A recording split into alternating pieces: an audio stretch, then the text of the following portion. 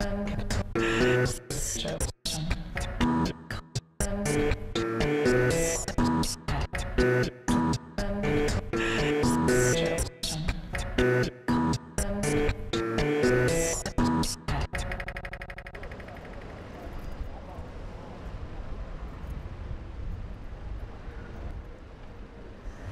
you know, one of the things that we both do have in common is this question about music. and The Mm. project that I've been doing, the devotional Yeah, series. absolutely. Yeah. Um, um, Barby and I, well, we kind of worked together in the Mm. sense of with, With um, the devotional choir. with the devotional choir Mm. at National Portrait Gallery.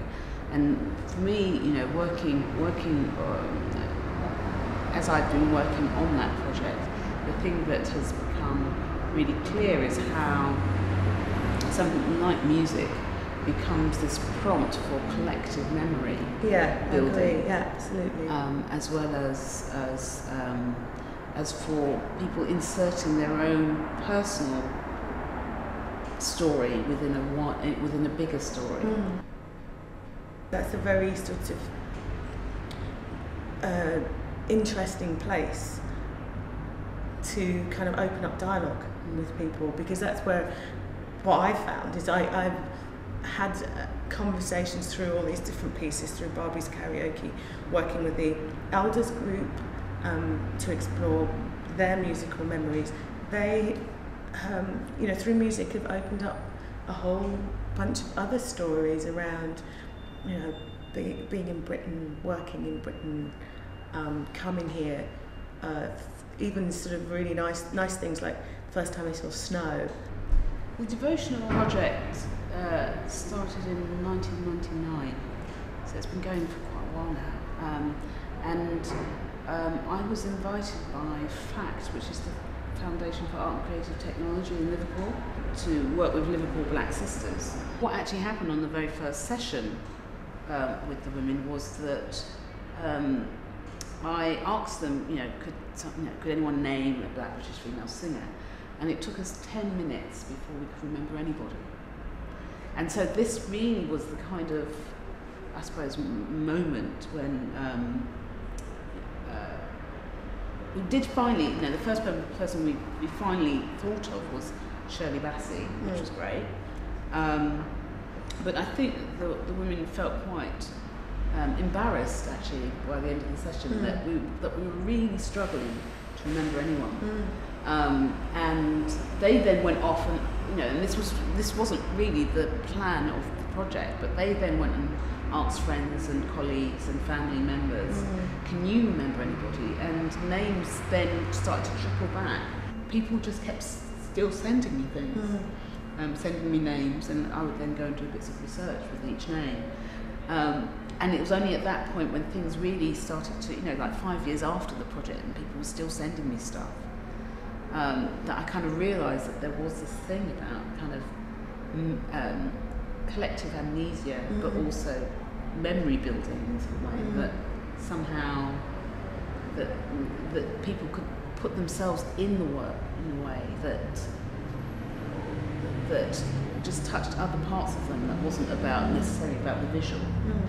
And I, you know, I was kind of interested with with the project here in terms of, you know, the fact that you you're, you know, that it, its its form is the form of an archive. Mm. I don't think many people understand their role in, in creating the story, the stories that archives are telling, basically. They don't realise that. And, and um, so I thought that I, I might make that a little bit more explicit somehow by creating something that was archival but also was, was open and, and, and people could see how they fit into it. There was recently a symposium a few weeks ago in um, Sheffield of the Black Art Group, um, who were a group from the 1980s, a very young group of artists who, I suppose, set the scene for whole generation, Mhm. myself and yourself Mm. kind of included, to see themselves as art you know, practitioners Mm. working with big institutions. Mike Tooby, who, who, gave a, who gave a paper at the symposium, was talking about a show that he'd organised in uh, 1984 1985 and getting some of the um, uh, audience feedback and a particular woman who'd come to see the exhibition, and she she was struck by what she thought by the work or within the work were these artists who were trying to change the world. Mm. And this idea that, that art practice, whether it's in the process or in the object, in whatever form, is actually committed to changing the world Mm. in some way. Uh, and that this was, for her, she didn't know that that's what art could do. Changing the world. That's a big thing, isn't it? Yeah. Absolutely Yeah. huge. Um, I, I say that because, you know, that um, to be an artist doesn't necessarily mean that. No. You know, it doesn't. But, you know, from what you've been saying, and, you know, it's something that I sign up to as well. It's a whole host of people, I think. But it's not one that's kind of put at the forefront of what art practice can be about. Mm. Is this idea that you bring other people with you, you know, you keep that Mm. door open, you know, that you, you know, the, the idea of, of, of fostering and, and harbouring and nurturing stories that don't necessarily get into the official Mm. sites like the big museums, Mm. the official archives, that people might feel really like these things aren't, this, this place isn't meant for me somehow. Yeah, yeah, yeah. Um, but as an artist, of saying, yeah, come on, come Yeah. on, let's, you know, let's, we, we can go Let's here. go. Yeah. Let's go, we can go here. I see that the politics of, of history is being are being opened up by this this conversation. Uh, the idea of archiving and who owns history or whose histories belong in those spaces. I have been thinking a lot about politics and pleasure, and um, and not politics necessarily as burden. This people come in here and smile. People can come into this space um, and put on a tape, and they can put on a, a record, or they can play. And it does it, it does have a kind of element of, of, of pleasure, but they also take time out. Um, some people get lost in time, but they don't expect to stay here for two hours playing all whatever hundred records that we've got here, um, choosing things, hearing things that they've never heard before, or, or, or reigniting memories that they had before. Um, and that time is quite, I think, is quite important. It's a quite an important political thing is that we don't generally have time. Um, so that I, I see I see politics in all in all these little things that I think are really quite important. You know, time, like you said, pleasure. You know, um, communication. um, uh, I suppose companionship, um, engagement, participation. What I suppose I find most difficult is, is, is defining, you know, what is work and what is my practice. Because I know that they blur and I know that they speak to each other. So before uh, I was doing, I suppose till about four years ago, I was doing a lot of art, um, uh, gallery education work, working on projects with uh, you know organisations like creative partnerships and, and, and um, doing bits of uh, writing and um, curating and teaching. Um, and now I'm doing, I'm, I'm associate curator at 198, contemporary arts and learning. So um, I fundraise for my post with, with um, the director. And then I've done a little bit of teaching here and there as well.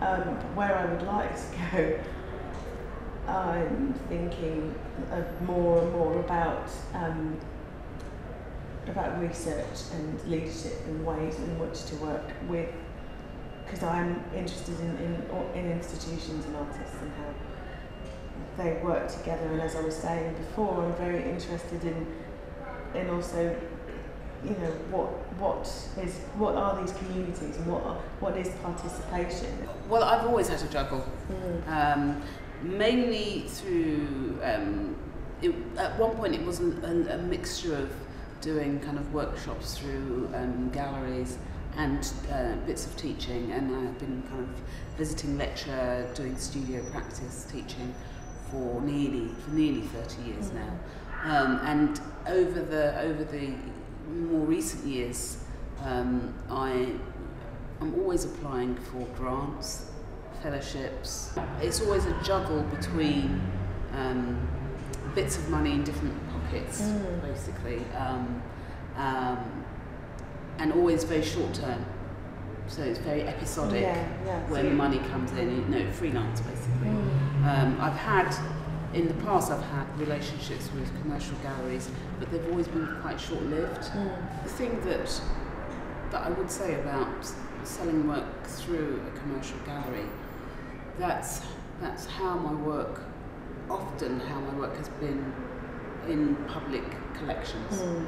The last the last few years, of course, because of the cuts and the change in in terms of the Arts Council, what it prioritises, it's become much more difficult to apply for things. Mm. You know, and I really worry about the emerging generation in terms of where they will find their sources of um, of money if Mm. they're not directly plugged into a kind of gallery selling kind of system, Mm. um, where they will start to, you know, how will, how they will juggle what what is available for them. Mm. Maybe it is through the social media. Maybe it is through you know crowdfunding or those Mm. aspects of, um, of of raising money to make the work um, that people have to look more and more and be more and more inventive with. But I, I'm just you know the fact that it should be you know, we're just being funneled towards being entrepreneurs. I just kind of think well. I don't know. I, I just feel that we should have ma- many more opportunities than that.